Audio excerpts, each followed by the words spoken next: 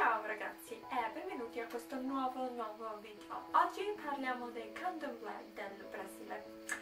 Um, è un culto, è un culto afro-brasiliano che è stato importato dagli schiavi um, che venivano dalle regioni di Nigeria e Benin principalmente perché questo culto si basa sulla um, religione degli Yoruba che è tipica della Nigeria Um, è tutto fuorché facile parlare dei candomblé perché ci sono moltissimi dettagli e dettagli anche che noi principalmente non disponiamo rispetto a ehm, esattamente come si articola la vita dei candomblé.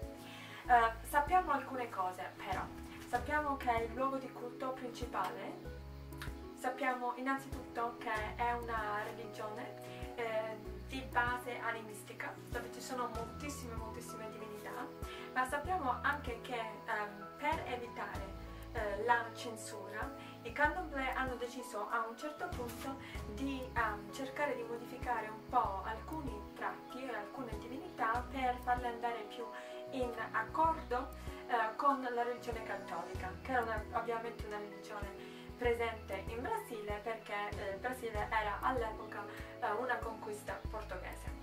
Quindi sappiamo dei candomblé che eh, quindi eh, vivono questa forma di sincretismo spirituale eh, che però si eh, riaffaccia sempre di più alla matrice africana originaria che è quella di essere un culto animistico che crede nella reincarnazione, crede un po' meno nei concetti di bene e male um, e uh, è basato su molte divinità che sono note come Orishas.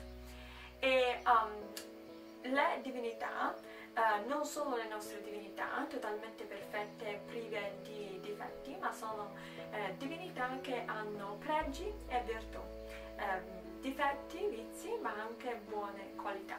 E c'è, soprattutto in questo, diciamo, nei candomblé in generale, ma dei candomblé c'è una forma terapeutica ehm, che si usa ehm, come fase di iniziazione, ma che si usa anche e soprattutto con persone che vengono iniziate candomblé per ehm, tollerare e per imparare a eh, moderare alcuni loro aspetti della personalità e soprattutto per imparare a tollerare cose come l'ansia, il nervosismo, l'aggressività. Questa fase di iniziazione eh, che è tipica, eh, che tipicamente eh, si svolge attraverso la danza, eh, che conduce a uno stato di trance. In questa fase di iniziazione ogni eh, membro della religione candomblé viene identificato con un particolare Orisha. Questo è il motivo per cui esistono tra i 16 e i 20 Orisha e questo è il motivo per cui um, c'è un momento in questa fase iniziale, soprattutto nello stato di trance, dove l'uomo, la persona, incomincia a identificare molti aspetti della sua personalità con la possessione di un Orisha. La, il termine possessione per noi è un termine negativo, connotato mistiche che non capiamo bene ehm, e che fa riferimento alla possessione del diavolo, che nella religione cattolica è una delle cose più terribili che possono succedere all'essere umano.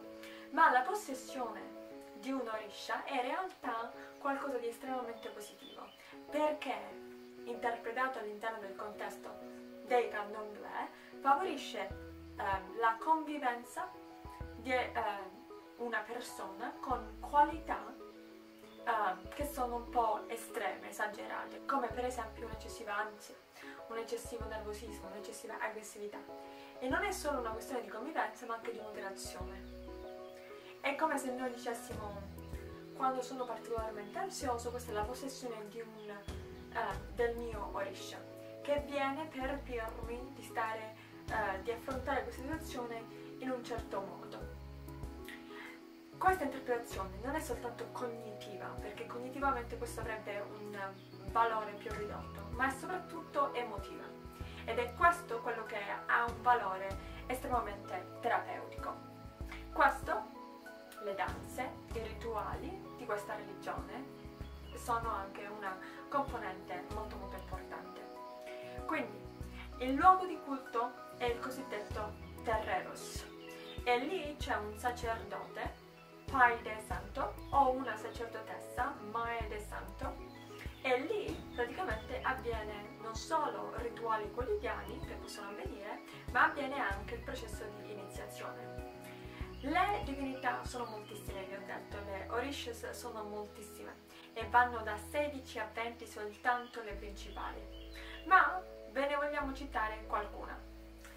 Per esempio quella di Oxala, che è la luce solare, eh, molte volte eh, paragonato a eh, Dio, nostro Dio, che eh, ci dà pace e armonia.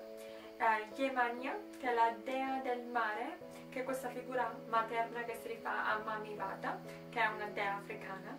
Nana, che è la madre terra, il simbolo della fertilità, rappresenta la dose della pazienza aiuta nel rigenerare e nel rinascere.